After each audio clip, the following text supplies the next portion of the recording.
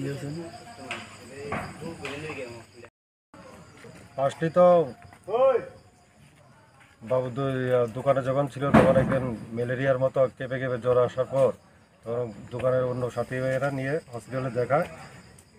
তারপর এখানে একটা ইঞ্জেকশন পুশ করে ধনপুর হসপিটালে তারপর বিকালবেলা সোনাবড় হসপিটালে যাই। ওখানে ব্লাড টেস্ট করার পরে ডেঙ্গু পজিটিভ দেখা দেয়।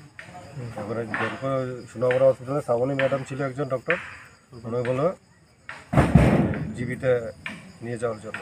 কিন্তু আমার বাবু যাওয়ার জন্য প্রস্তুত নয়। তখন রাত্রিবেলা দুটার সময়, আঠাশ তারিখ রাত দুইটা আপানি হসপিটালে গিয়ে অ্যাডমিশন করে।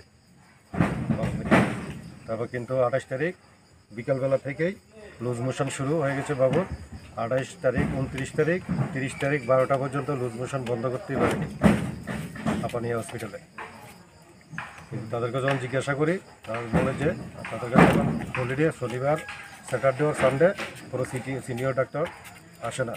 জুনিয়র ডাক্তাররাই দেখাশোনা করে।